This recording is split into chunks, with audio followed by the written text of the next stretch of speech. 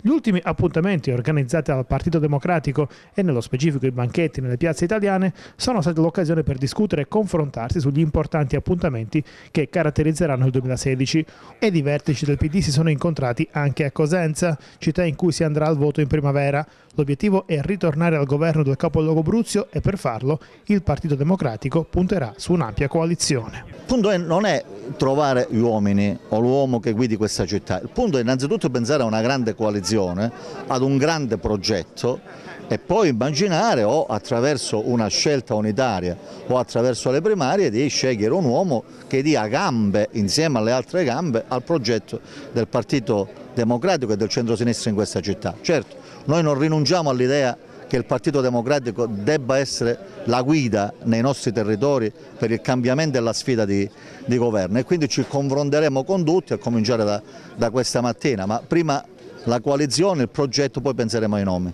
Quindi anche aperture ad altri partiti, insomma a forze politiche diverse dal Partito Democratico? Assolutamente sì, se non ci sono grandi coalizioni non si vince, c'è bisogno di fare grandi coalizioni attorno a progetti però, non a schemi di potere. Se siamo capaci di fare questo io credo che noi non solo vinceremo ma governeremo anche bene.